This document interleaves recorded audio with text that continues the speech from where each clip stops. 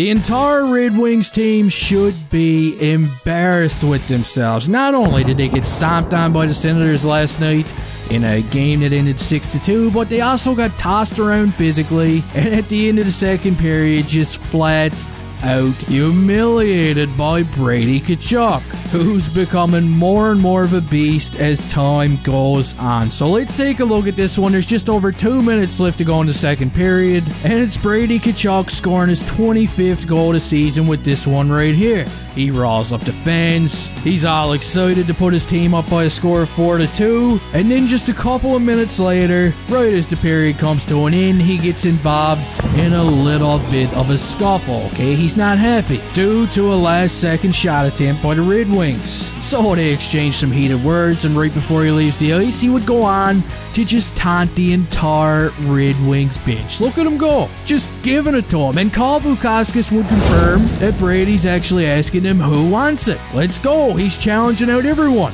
But guess what? Nobody wanted it, and it was embarrassing because during the third period, the Senators would go on to score two more goals against the Red Wings, and even with the game on hand and nothing left to play for besides their pride, the Red Wings would fold like a cheap tent. Okay, nobody answered the bell to Brady Tkachuk.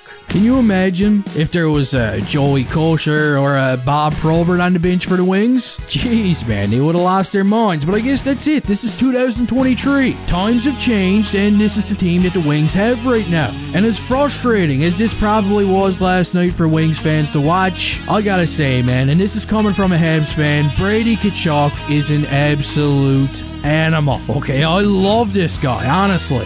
And again, okay, I think it's a shame that Keith Tkachuk stopped making babies when he did, because I'd be lining up right now to buy a litter of these guys if I could. What a power forward Brady is. He's got 25 goals right now. He's got 37 assists, which means he's over a point per game right now. He racks up the penalty minutes. He hits everything in sight, and he's just too much to handle right now for softer teams like the Red Wings. He's a freak. Sens fans are obviously just pumped to have this guy, and hey, I can't blame them. Guys like him, in my opinion, are what's good for the game, okay? This is the kind of guy that creates rivalries, he reignites old rivalries, he's entertaining just by himself. And I mean, as much as people hate the Tkachuks, they hate the Marchands, they hate the Tom Wilsons, if you were to take every one of these interesting characters and just toss them out of the game, then the league is just going to become pretty boring, okay? You, you can't do it. This might sound weird, but I even love hockey so much that I love the players that I hate.